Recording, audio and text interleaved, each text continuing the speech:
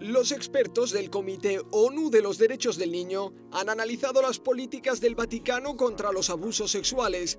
El resultado es un duro informe que pide medidas más claras a la Santa Sede. Sin embargo, pierde fuerza porque incluye reclamaciones exageradas como que acepte el aborto o cambie su enseñanza sobre la homosexualidad. Hay otros ejemplos como este párrafo. Al comité le preocupa que a pesar de su influencia en las familias católicas, la Santa Sede no haya adoptado todavía una estrategia global contra el abuso en las familias.